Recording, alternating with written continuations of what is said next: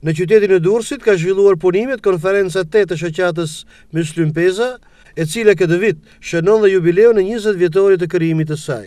Në të u analizua puna e anëtarëve si përfaqësues të një shoqate që simbolizon dhe trashëgon vlerat e një çete luftarake e cila ishte dhe çeta e parë e organizuar në Europë me armë në dorë në luftën kundër fashizmit. Sulltana Avrami ka përmendur kontributin dhe emrat e veteranëve të ndarë nga jeta gjatë kësaj periudhe. Ndërkohë, kryetari i shoqatës Gani Vokshi, në fjalën e hapjes, vlerësoi punën e bërë në ruajtjen e vlerave historike të kësaj çete. Ndërsa sekretari Pali Jorgji ka folur mbi punën organizative të bërë nga kryesia e shoqatës dhe kontributin e degëve të ndryshme të saj.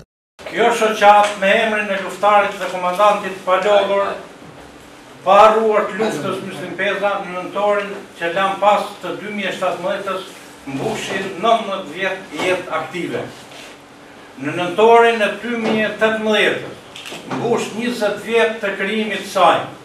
Siç e shihni, jemi në vitin jubilar të njëzet vjetorit. Asnjë shoqatë me emër individi në çfarëdo fushe në Shqipëri nuk ka jetuar dy dekada sa shoqata jonë Myslim Peza. Edhe sidomos Shihabu është për ta falënderuar. Unë kam qenë i delegum disa herë, po në mënyrë tjetër se si ecin ato ne. Ne këtu në rregull, dhe ne kemi jemi i domethënë kemi hyrë sa i punë që ne Të flasim mirë, ta dumë njëri tjetrin, edhe ne kismet në rast se ato nuk dunë, ne do bëjmë prap, do t'i do t'i zbusim gjakrat, nuk do t'i lejmë kështu, se ne zbatojmë statutin.